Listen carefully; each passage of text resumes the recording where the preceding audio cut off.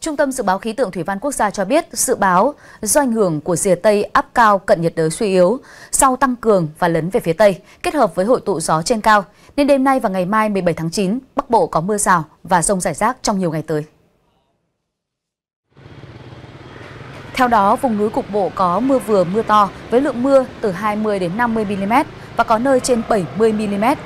Từ đêm mai 17 tháng 9 cho đến ngày 20 tháng 9, Bắc Bộ tiếp tục có mưa rào và rông, cục bộ có mưa vừa, mưa to.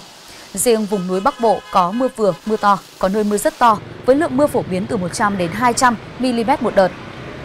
Tại các tỉnh Lai Châu, Lào Cai, Hà Giang, Tuyên Quang có nơi trên 300 mm một đợt. Thời gian mưa lớn xảy ra tập trung vào đêm và sáng sớm.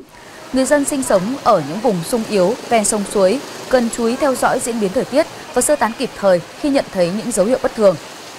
Thủ đô Hà Nội từ nay cho đến ngày 20 tháng 9 có lúc có mưa rào và rông, cục bộ có mưa vừa, mưa to. Thời gian mưa tập trung vào đêm và sáng sớm. Trong mưa rông có khả năng xảy ra lốc xét, mưa đá và gió giật mạnh. Nguy cơ cao xảy ra lũ quét, sạt lở đất cục bộ tại khu vực miền núi và ngập úng cục bộ tại những vùng đô thị trũng thấp.